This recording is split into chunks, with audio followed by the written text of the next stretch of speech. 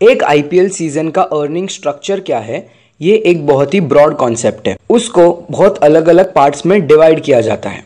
पर इस वीडियो में आईपीएल के फ्रेंचाइजी अपनी इनकम कैसे करते हैं, ये हम जानेंगे। आईपीएल के फ्रेंचाइजी का पहला source of income by selling stakes होता है। स्टेक्स मतलब कंपनी का एक छोटा सा पार्ट बेच देना। कंपनी के स्टेक्स बेच देने के बाद आईपीएल के फ्रेंचाइजी को बहुत सारा प्रॉफिट होता है। फॉर एग्ज़ाम्पल डेली कैपिटल्स, जो 2018 तक डेली डेडेवल्स के नाम से जानी जाती थी, उसको जीएमआर ने 2008 में डॉलर 84 मिलियन में खरीदा था। और 2019 में जीएमआर ने दिल्ली कैपिटल्स के 50 परसेंट स्टेक जेएसडब्ल्यू ग्रुप यानी कि जिंडल साउथ वेस्ट ग्रुप को बेच दिए। जिंडल साउथ वेस्ट ग्रुप ने दिल्ली कैपिटल्स के 50 परसेंट स्टेक 550 करोड़ यानी कि डॉलर 77 मिलियंस में खरीदे थे, और ये एक बहुत ही बड़ा प्रॉफिट माना गया था। आईपीएल के फ्रेंचाइजी का दूसरा सोर्स ऑफ़ इनकम होता है prize money prize money one of the main source of income होता है आईपीएल के फ्रेंचाइजी का। जैसे कि 2018 में चेन्नई सुपर किंग्स ने जब भी आईपीएल फाइनल जीता था तो उनको as a prize money rupees twenty crore मिले थे।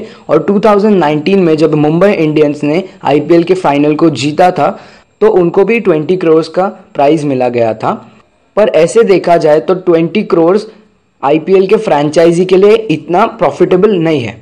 तो बहुत लोगों के दिमाग में ऐसा सवाल आया होगा कि अगर आईपीएल की विनिंग प्राइस प्रॉफिटेबल नहीं है तो आईपीएल की फ्रेंचाइजी इतना क्यों प्रेशर देती है अपने टीम पे कि वो आईपीएल के टाइटल को जीते?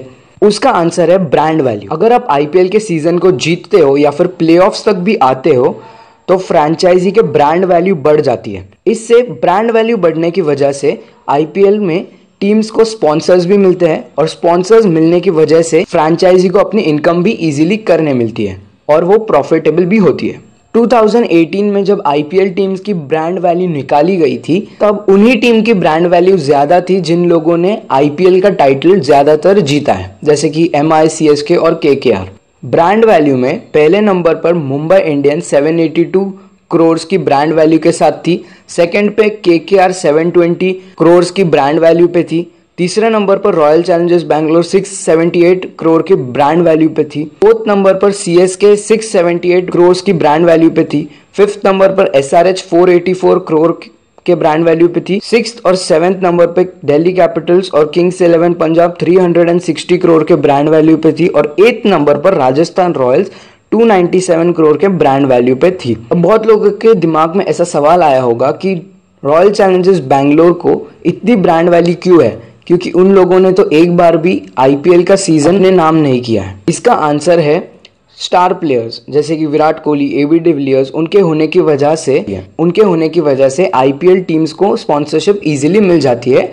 इसीलिए रॉयल चैलेंजर्स बैंगलोर की ब्रांड वैल्यू 678 करोड़ है। तीसरे नंबर पे है मीडिया राइट्स। आईपीएल के फ्रेंचाइजी मीडिया राइट से प्रॉफिट कमाते हैं। ऐसे देखा जाए तो मीडिया राइट्स ही आईपीएल के फ्रेंचाइजी को सबसे ज़्यादा प्रॉफिट में लेकर जाते हैं। 2017 में स्टार इंडिया ने आईपीएल की broadcasting rights rupees sixteen crore में खरीदी थी, जो ऑलमोस्ट 54.5 करोड़ पर मैच की थी।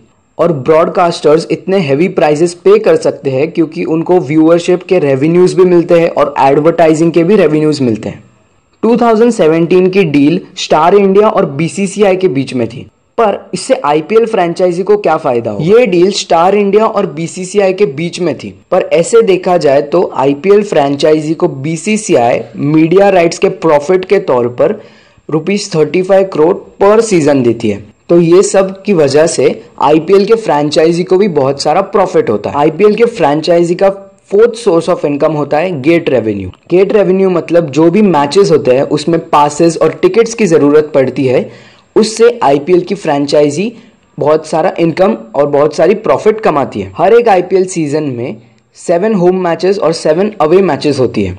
तो जितने भी सेवन होम मैचेस होते हैं आईपीएल की फ्रेंचाइजी उससे भी प्रॉफिट कमा लेती है। और मोस्टली फाइनल्स में आईपीएल की फ्रेंचाइजी को बहुत सारा प्रॉफिट होता है, क्योंकि ऑडियंस भी ज़्यादा होती है। पर 2020 में, यानी कि इस साल के आईपीएल में फैंस नहीं होने के वजह से आईपीएल के फ्रेंचाइजी को थोड़ा लॉस हो सकता है। फिफ्थ नंबर पर है स्पॉन्सरशिप अगर स्पॉन्सरशिप होगी, तभी तो आईपीएल के फ्रेंचाइजी अपनी प्रॉफिट्स कमा पाएँगे। और स्पॉन्सरशिप और एडवर्टाइजिंग जो है वो ब्रांड वैल्यू से आती है। और ब्रांड वैल्यू से आती है कि कैसे वो टीम आईपीएल में परफॉर्म करती है। सिक्स नंबर पे है मर्चेंडाइजिंग एक प्लेयर की जर्सी मार्केटिंग के लिए बहुत ही इंपॉर्टेंट रोल प्ले करती है। फॉर एग्ज़ाम्पल आईपीएल के जर्सीज बहुत सारे कलरफुल ब्रांड और लोगो से भरे रहते हैं। एक आईपीएल के आउटफिट में एटलीस्ट दस ब्रांड के लोगोज होते हैं।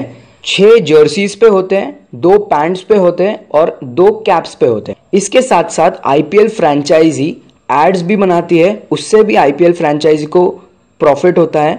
और इन केस जो ब्रांड्स, जर्सीज, पैंट्स और कैप्स पे नहीं फिट हुए तो प्लेयर्स अपने सोशल मीडिया हैंडल से भी उन ब्रांड्स को प्रमोट करते हैं। फॉर एग्ज़ाम्पल सी एस के ने 2018 में एटलीस्ट 18 ब्रांड्स के साथ टाई अप किया, जिसमें मुथूट ग्रुप टाइटल स्पॉन्सर था।